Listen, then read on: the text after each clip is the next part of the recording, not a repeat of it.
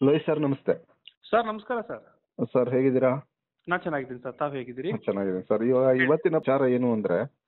ರೇಣುಕಾ ಸ್ವಾಮಿ ಅವರ ಒಂದು ಒಂದು ಫೋಟೋ ಸಾಕಷ್ಟು ವೈರಲ್ ಆಗ್ತಿದೆ ಬೆಳಗ್ಗೆಯಿಂದ ಸಾಮಾಜಿಕ ಜಾಲತಾಣದಲ್ಲಿ. ನೀವು ಗಮನಿಸಿರ್ತೀರಾ ಅಂತ ಅನ್ಕೊಳ್ತೀನಿ.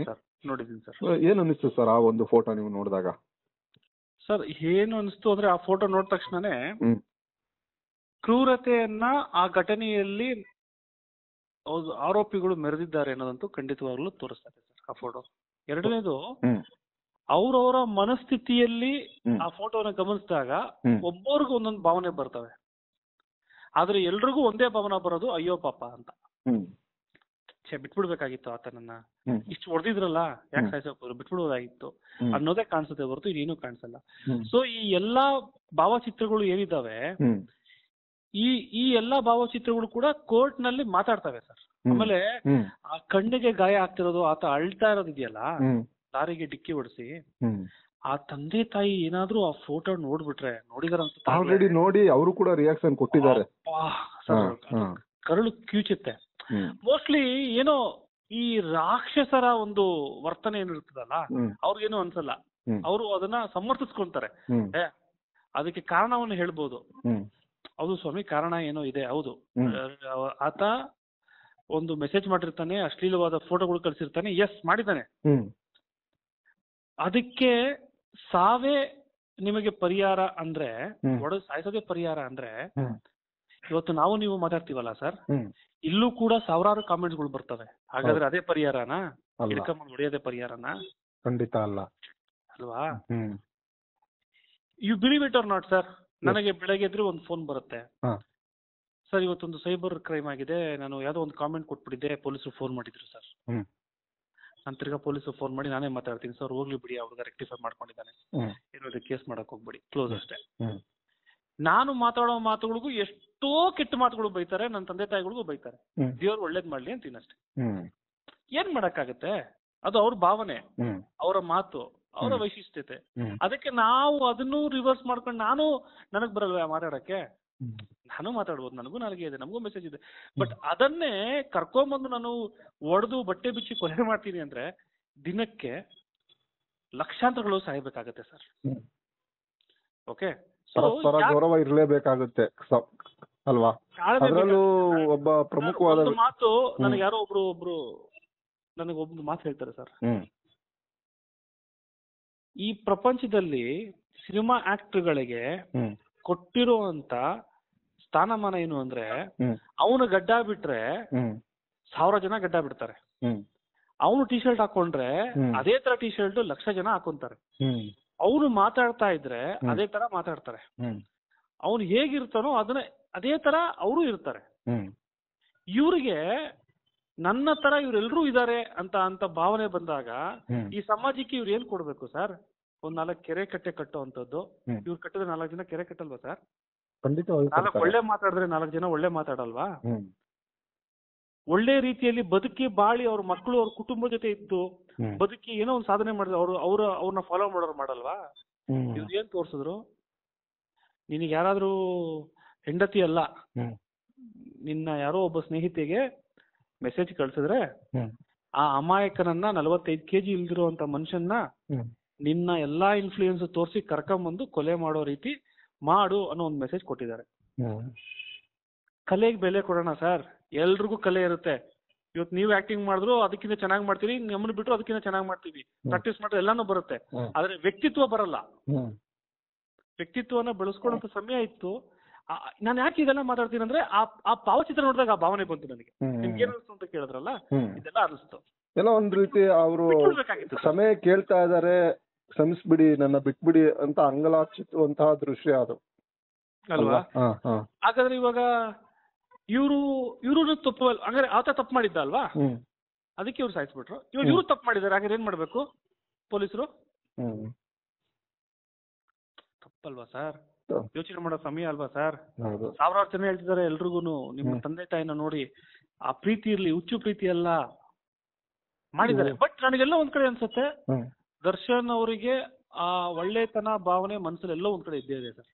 ಕಷ್ಟದಿಂದ ಬಂದಿರುವಂತವನು ಇವತ್ತು ಅವೆಲ್ಲವೂ ಕೂಡ ಹೊಂಟೋಗಿರ್ತವೆ ಇದು ದುಡುಕಿ ಮಾಡಿರುವಂತದ್ದು ಎಲ್ಲ ಒಂದ್ ಕಡೆ ಅವ್ರಿಗೆ ಆ ಒಂದು ಎಲ್ಲವೂ ತಲೆಲಿತ್ತಲ್ಲ ಆ ಪ್ರೊವೊಕೇಶನ್ ಆ ಒಂದು ನಾನು ಅನ್ನುವಂಥದ್ದು ಎಲ್ಲವೂ ಇದ್ದು ಅದಾಗ್ಬಿಟ್ಟಿದೆಯೇನೋ ಅಂತ ಅನ್ಸುತ್ತೆ.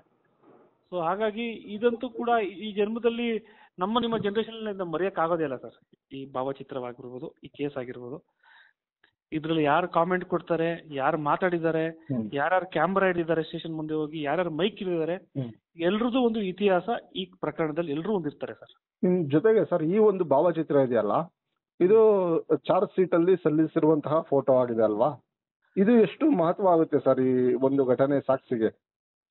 ಇದು ನೀವು ಕಂಪ್ಲೀಟ್ ಪಾಯಿಂಟ್ ಬಂದ್ರಿ ಸರ್. ಹ್ಮ್. ಇದೇನು ಅಂದ್ರೆ ಹ್ಮ್. ಡಿಫೆನ್ಸ್ ಅಡ್ವೊಕೇಟ್ ಅಂದ್ರೆ ಹ್ಮ್. ದರ್ಶನ್ ಪರ ವಕೀಲರು ಏನಾದ್ರೂ ಕೂಡ ಹ್ಮ್. ಆ ಸ್ಪಾಟಿನಲ್ಲಿ ರೇಣುಕಾ ಸ್ವಾಮಿ ಇರ್ಲೇ ಇಲ್ಲ. ಅನ್ನೋ ರೀತಿ ಏನಾದ್ರೂ ಪ್ರಯೋಗವನ್ನ ಮಾಡಕ್ ಹೋದಾಗ ಇವೆಲ್ಲವೂ ಕೂಡ ಸಾಕ್ಷಿಯಾಗಿ ಬರ್ತವೆ. But I will tell you ಈ ಸಾಕ್ಷಿ ಈ ಫೋಟೋಗಳು ಏನಿದಾವೆ ಇದು ಎಕ್ಸ್ಟ್ರಾಕ್ಟ್ ಆಗಿರುವಂತದ್ದು ಮೊಬೈಲ್ ಫೋನ್ನಿಂದ ಅಂದ್ರೆ ಯಾರೋ ಒಬ್ಬ ಆರೋಪಿ ಇದನ್ನ ಒಡೆದ್ಬಿಟ್ಟು ದರ್ಶನ್ ಅವರು ಕಳಿಸಿರ್ತಾರೆ. ಅವ್ರ ಮೊಬೈಲ್ ಫೋನಲ್ಲೂ ಇದಿರ್ತವೆ ಇವ್ರ ಮೊಬೈಲ್ ಫೋನ್ ಇರ್ತವೆ. ಅಲ್ಲಿಗೆ ಇವ್ರು ಹೊಡೆದು ಅವರೇ ಕಳಿಸಿರೋದು ಅನ್ನೋದು ಪ್ರೂವ್ ಆಗುತ್ತೆ. ಓಕೆ ಮತ್ತೆ ಆ ಜಾಗದಲ್ಲಿ ಬಿದ್ದಿರುವಂತ ಹಗ್ಗ ಕಟ್ಟಿರುವಂತದ್ದು ಬಟ್ಟೆ ಬಿಚ್ಚಿರೋದು ಜ್ಞಾನ. ತಪ್ಪಿ ಬಿದ್ದಿರುವಂತಿರೋದು ಸೊ ಇವೆಲ್ಲವೂ ಕೂಡ ಸರ್ ಎಲ್ಲವೂ ಕೂಡ ಈ ಫೋಟೋಗಳು ಮಾತ್ರ ನಿನ್ನೆ ತನಕ ಒಂಥರ ಬರೀ ಚಾರ್ಜ್ ಶೀಟ್ ಡಾಕ್ಯುಮೆಂಟ್ ಮೇಲೆ ಇತ್ತು. ಈ ಭಾವಚಿತ್ರ ಮತ್ತೆ ಇದನ್ನೆಲ್ಲ ನೋಡಿ ತೋರ್ಬಿಟ್ರೆ ಎಂತರಿಗೂ ಕೂಡ ನರಳಿಸಿ ಹಿಂಸೆ ಕೊಟ್ಟು ಕೊಲೆಯನ್ನ ಮಾಡಿರೋದು ಪ್ರೂವ್ ಆಗ್ಬಿಡುತ್ತೆ. ಅಂದ್ರೆ ಈ ಭಾವಚಿತ್ರನ ಈಗ ಆಲ್ರೆಡಿ ಪೊಲೀಸ್ ಅವರು ಕೋರ್ಟ್ಗೆ ಸಬ್ಮಿಟ್ ಮಾಡಿದ್ದಾರೆ. ಅದಕ್ಕೆ ನಿಮ್ಗೆಲ್ಲರಿಗೂ ಸಿಕ್ಕಿರೋದು. ಅಂದ್ರೆ ಇದೊಂದೇ ಇದೆ ಅಥವಾ ಈ ತರದ್ ಇನ್ನೊಂದಷ್ಟು ಬರೋ ಚಾನ್ಸಸ್ ಇದೆಯಾ ಸರ್ ಫೋಟೋಗಳು ಸರ್ ಇನ್ನ. ಟೈಮ್ ತಗೊಂಡಿದ್ದಾರೆ ಇನ್ನೊಂದು ಅಡಿಷನಲ್ ಚಾರ್ಜ್ ಶೀಟ್ ಹಾಕ್ತೀವಿ ಅಂತ ಹೇಳಿ. ಓಕೆ. ಅಲ್ಲಿ ಯಾವ ಅದು ಸಿಕ್ಕುತ್ತೇವೆ ಅಂತ ನೋಡಕ್ ಕೇಳ್ಬೇಕು. ಮತ್ತೆ ಒಂದು ಫೋಟೋದಲ್ಲಿ ಅಂಗಾತ ಮಲಗಿರ್ತಾರೆ ನೋಡಿದಿರ ಹೌದು ಹೌದು ಹೌದು ಹೌದು ಹೌದು. ಅಲ್ಲಿ ಪಕ್ಕದಲ್ಲಿ ಲಾರಿ ನಂಬರ್ ಕಾಣುತ್ತೆ ನಿಮ್ಗೆ. ಎಸ್ ಹೌದು. ಆ ಲಾರಿ ನಂಬರು ಆ ದಿನ ಎಲ್ಲಿ ಪಾರ್ಕ್ ಆಗಿತ್ತು ಅಂತ. ಅದು ಆ ಜಾಗದಲ್ಲೇ ಇದೆ. ಅದು ಅಲ್ಲೇ ಇದೆ. ಅದಕ್ಕೆ ಅದನ್ನ ಸೀಸ್ ಮಾಡಿದ್ದಾರೆ. K fifty one A F zero four five four ಅಂತ ಆ ಲಾರಿ ನಂಬರ್. ಅದೇ ಗುರುತು ಅದಕ್ಕೆ. ಬರೇ ಭೂಮಿ ತೋರಿಸಿದ್ರೆ ಅವನೆಲ್ಲ ಅಂಗಾತದಲ್ಲಿ ತುಮಕೂರು ಜಡಲ್ಲಿ ಮಲಗಿದ್ದಾರೆ ಅಂತ. ಆ ಲಾರಿ ನಿಂತಿರೋ ಪಕ್ಕದಲ್ಲಿ. ಸ್ಪಾಟ್ ಮರ್ಡರ್ ಮಾಡಿರ್ತಾರೆ. ನನಗೆ ಇದೆಲ್ಲ ನೋಡಿದಾಗ ಏನನ್ಸುತ್ತೆ ಸಂತೋಷ್ ಸರ್? ಈ ಕೇಸಲ್ಲಿ ಖಂಡಿತವಾಗ್ಲೂ ಅಷ್ಟು ಸುಲಭವಾಗಿ ಯಾರು ಆಚೆ ಬರಲ್ಲ. ಎಲ್ಲ ಶಿಕ್ಷೆಗೆ ಏನಾಗ್ಬೇಕು ಎಲ್ಲಾನು ಕರೆಕ್ಟ್ ಆಗಿ ಸೂಚನೆ ತೋರಿಸ್ಬಿಟ್ಟಿದೆ. ಪ್ರಾಬಬಲಿ ನನ್ನ ಅನ್ಸೋ ಮಟ್ಟಿಗೆ ಬೇಲ್ ಸಿಗದಿರೋ ಹಾಗೇನೆ ಶಿಕ್ಷೆ ಆಗುವಂತ ಎಲ್ಲ ಲಕ್ಷಣಗಳು ಇದೆ. ಲಕ್ಷಣ ಕಾಣ್ತಾ ಇದಾವೆ. ಅವ್ರ ಶಿಕ್ಷೆ ಆಗ್ಬೇಕು ಅನ್ನೋದು ನಾನು ಬಯಸ್ತಾ ಇಲ್ಲ. ಆಗ್ಬಾರ್ದು ಅಂತ ನಾನು ಬಯಸ್ತಾ ಇಲ್ಲ. ಆದ್ರೆ ಈ ವಿಚಾರಗಳನ್ನೆಲ್ಲ ಗಮನಿಸಿದಾಗ ಇದು ಈ ರೀತಿನೇ ಹೋಗುತ್ತೆ ಅಂತ ಅನ್ಸುತ್ತೆ ಸಂತೋಷ್. ಜೊತೆಗೆ ಇನ್ನೊಂದು ಫೋಟೋ ಒಂದಷ್ಟು ಕುತು ಒಂದಷ್ಟು ಜನರಿಗೆ ಕುತೂಹಲ ಇದೆ.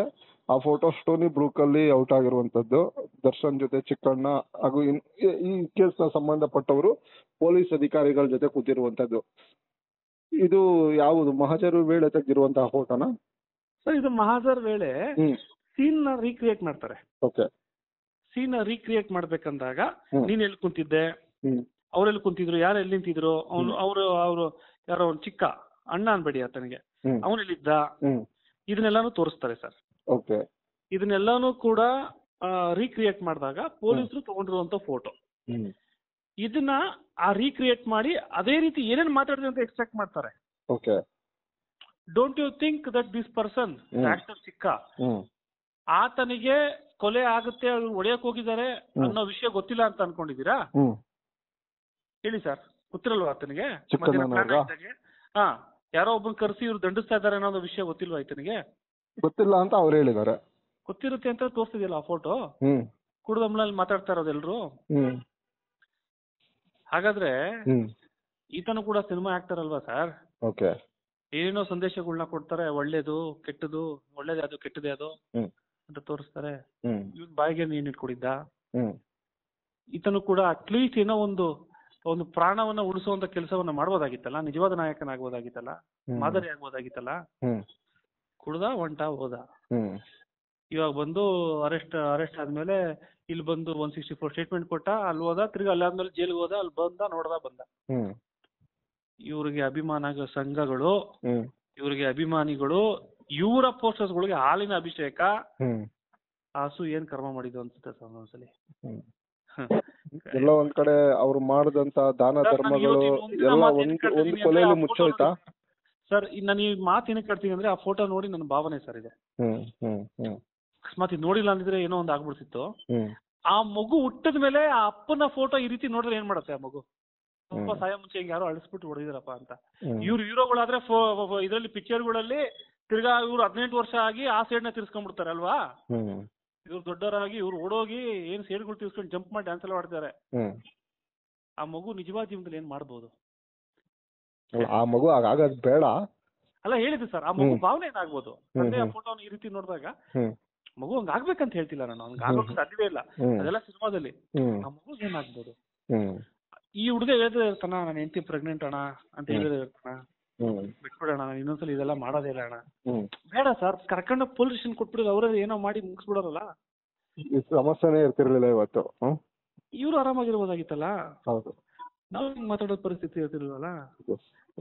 ಒಂದು ಮಗುನ ತಂದೆ ಸಾಕಿದ ನೋಡಿ. ಆ ಮಗು ಹುಟ್ಟದಾಗಿಂದ ಮಗು ಸಾಕಿ ಅವನ ದೊಡ್ಡದ್ ಮಾಡಿ ಮದುವೆ ಆಗಿ ಆ ಅಪ್ಪ ಇವತ್ತು ಆ ಫೋಟೋ ನೋಡಿದಾಗ ಹೆಂಗಾಗ್ಬೋದು? ನನ್ನ ಮಗ ಸಾಯ್ಬೇಕಂದಾಗ ಈಗ ನರಳ್ಬಿಟ್ನಲ್ಲ ಅಂತ. ಯಾರೇ ಆಗ್ಲಿ ಸರ್ ಪ್ರಾಣಿ ಆಗ್ಲಿ ಮನುಷ್ಯರಾಗ್ಲಿ.